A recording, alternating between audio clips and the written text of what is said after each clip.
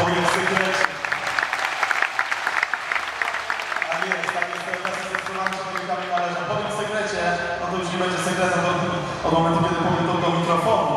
Ale Kamil był najbardziej zestresowany tym wystąpieniem tutaj. Ciągle chodził za mój no jakie pytania, jakie pytania?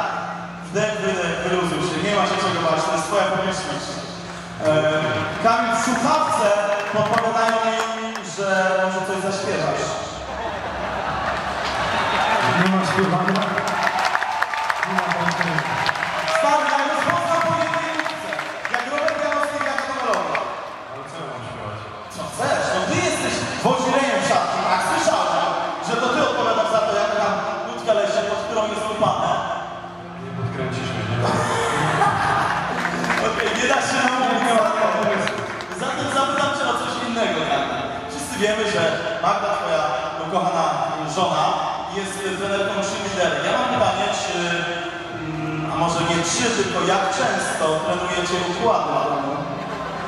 Trzy razy w tygodniu. Trzy razy w tygodniu, przecież to jest zupełnie wystarczający. Wystarczający na treningu, żeby poradzić sobie. Zatem nie zdziwcie się Państwo, jeśli któregoś, e, podczas któregoś meczu Kamil biegnie razem z dziewczynami. Oczywiście.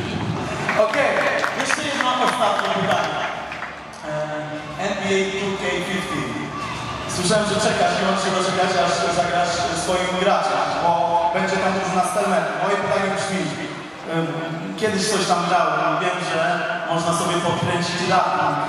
No. Zrobisz to, czy, czy nie? Yy, Dla mnie jest najważniejsze, żeby rękawiczka była w